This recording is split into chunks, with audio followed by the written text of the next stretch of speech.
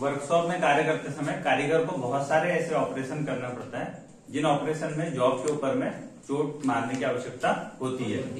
वो हम एक टूल के द्वारा करते हैं उस टूल का नाम है करना वो क्या कहलाता है? हैमरिंग गाड़ी जो बनती है उसी टाइप से उसको क्या करते हैं? वही फोर्ज करते फोर्ज मतलब होता है गर्म करना है ना? गर्म करके ठोकना पीटना और उसके बाद उसके उसको शेप में बनाना तो मैंने ड्रॉप कर दिया।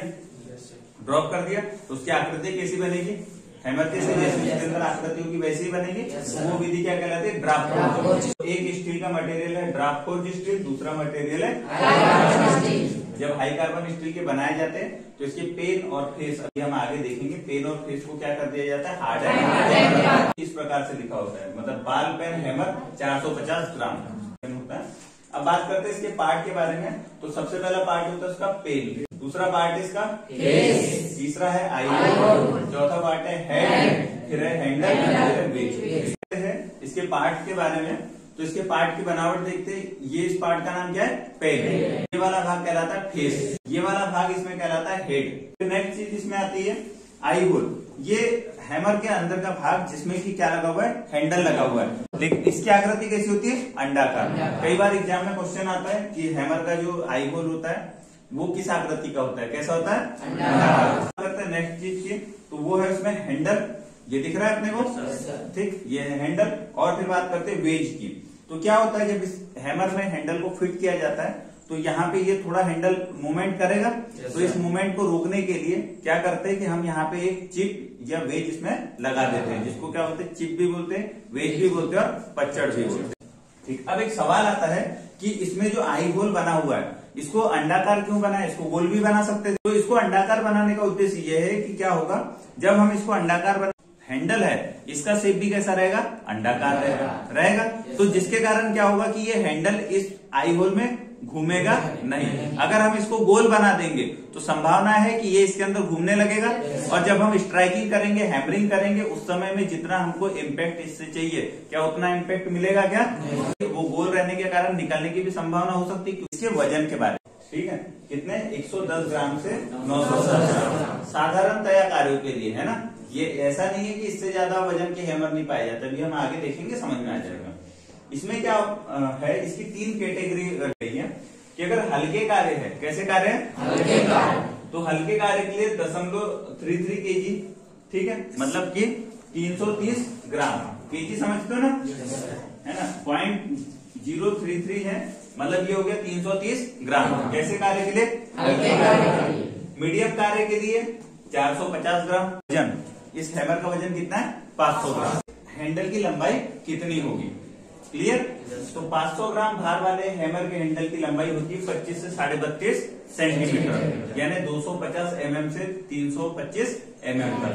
क्वेश्चन आता है कि चिन्हन कार्य में प्रयुक्त मतलब पंचिंग कार्य में प्रयुक्त हथौड़े का वज़न कितना होता है? तो कितना होता है? 250 जो प्रकार होते हैं एक होता है ball peen hammer cross peen hammer और स्ट्रेट पेन हैमर चूँकि बात जिसमें पेन की आ रही है तो उनकी आकृति में परिवर्तन सिर्फ़ कहाँ होता है? इनके पेन वाले भाग में। फेस और हेड बाकी सारा पार्ट एक ही जैसा होता है। तो बाल पेन हैमर ये देखो इसकी आकृति बॉल की जैसे दिख रही है इसलिए इसका नाम क्या हो गया? बाल। पेन हैमर का काम क्या है? रिविट का हेड बनाना फिर जो पेन है आगे बॉल टाइप का है। सेकंड है अपना क्रॉस पेन देखिए ये वाला भाग बाकी की बनावट हम देखेंगे। तो हेड वाला भाग वैसे ही फेस वाला भाग भी है। ये बॉडी है। और जो डिफरेंस जो बात कर रहे थे पेन के बारे में तो इसका जो पेन है क्रॉस पेन का वो इस हैंडल के क्रॉस में है। ये यहाँ दिखाई दे रहा है, हैंडल के क्रॉस में है। तो इसलिए इसका नाम हो गया क्रॉस पेन हमारा ये पेन वाला भाग इसका काम क्या है? क्रॉस पेन का सीट मेटल में जो हमको नालियाँ बनती है, चादर दे जो नालियाँ बनती है ग्रूव बनते हैं, वो किससे बनाया जाता है? Cross peen. पे स्ट्रेट पेन हैमर की तो हैमर होता है। इसका जो पेन अभी ऐसा क्रॉस में सीधा हो जाएगा। मतलब पेन कैसा होगा? इस टाइप का हो जाएगा। और हैंडल भी कैसा लगेगा? इस साइड से लग जाएगा। समझ में आ रही है आकृति? हैंडल कुछ इस टाइप से लगा रहेगा और पेन भी एकदम देखो, हैंडल के सीध में आ गया। आ गया।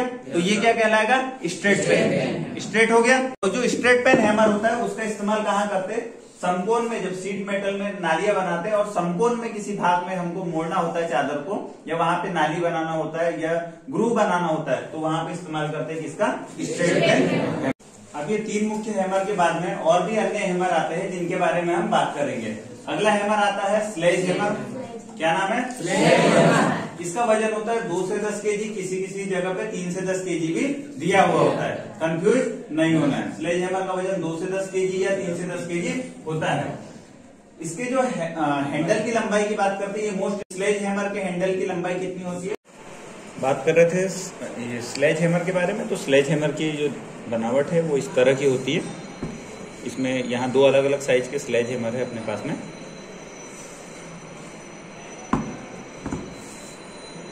इसमें भी जो हैंडल है वो लकड़ी का लगा हुआ है। दो से दस के जी तीन से दस के जी अलग अलग साइज़ के होते हैं। ये स्लेज हैमर है घन हथौड़ा भी इसको बोलते हैं। सॉफ्ट हैमर की। तो सॉफ्ट हैमर कैसा होता है? ये तांबे का, पीतल का या शीशे का बना होता है। देखते ये देखिए मेरे पास में एक सॉफ्ट हैमर रखा हुआ है। देखने में कुछ इस टाइप का दिख रहा है। ये सॉफ्ट हैमर है इसका इस्तेमाल कहाँ करते हैं? मशीनिंग के बाद हैमरिंग करने के लिए किया जाता है। इसका मटेरियल क्या है? पीतल का बना हुआ। दिख रहा है ये? हैमर की। तो प्लास्टिक हैमर की जो बनावट है वो कुछ इस तरह की होती है। इसकी जो बॉडी है वो किसकी बनी हुई है? स्टील की। बनी हुई है। और इसके जो फेस है वो किसके बनेंगे इसका नाम क्या? प्लास्टिक। हैमर है इसका इस्तेमाल कहाँ किया जाता है? फिनिश किए हुए पार्ट में अगर हमको हैमरिंग करना होता है तो वहाँ पे हम इसका इस्तेमाल करते हैं। अगला हैमर आता है राहाइड हैमर। तो राहाइड हैमर की बॉडी की स्टील की कुछ इसी तरह की बनी होती है और इसके जो कौन सा भाग है? फेस वाला भाग। उसमें क्या लगा हुआ होता है? चमड़ा। क्या लगा होता है? कच्चा चमड़ा। जहाँ ये प्लास्टिक लगा हुआ है इसकी जगह क्या लगा हुआ रहेगा? कच्चा चमड़ा। उसका इस्तेमाल कहाँ करते?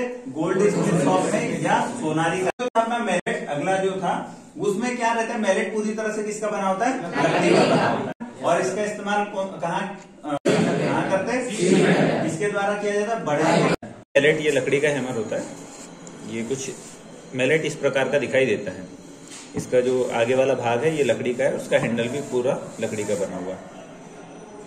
अगला है क्ला हैमर ये हम सभी जानते हैं घरों में अक्सर देखने में मिल जाता है। जो कील निकालने के लिए जिस हैमर का हम लोग इस्तेमाल करते हैं एक भाग में क्या होता है हैमर उसका फेस रहता है और जो पेन वाला भाग है उसकी जगह क्या रहता है सर बी शेप बना हुआ रहता है। जिसको कील में फंसा के कील को निकाला जाता है। बात कर रहे थे क्ला हैमर के बारे में तो ये इसकी बनावट है।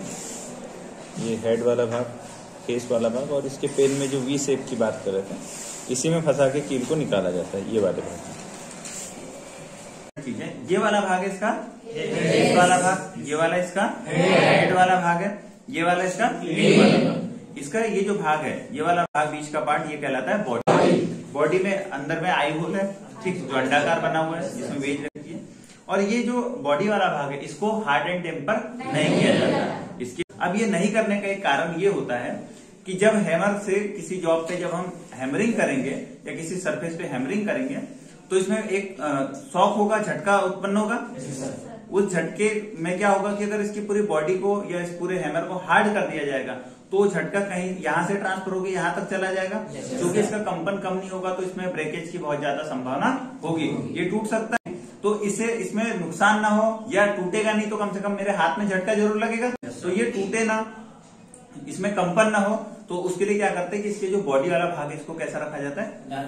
नर्म रखा जाता है। मतलब इसको हार्ड एंड टेम्पर नहीं किया जाता। ताकि जब किसी सरफेस पे इससे हैमरिंग हो तो ये वाला भाग जो इसमें सॉफ्ट आएगा वो यहाँ पे आके क्या होगा? रिलीज़ हो जाएगा। क्लियर रहेगा? दूसरी बात बात करते हैं इसके हैंडल की। तो इसका हैंडल हमेशा किसका बनाया जाता है? लकड़ी का। कई बार हम देखते हैं कि वो हैंडल लोहे का भी बना होता है। लेकिन लोहे का हैंडल नहीं बनाना चाहिए। हैंडल किसका बनाना चाहिए? लकड़ी का।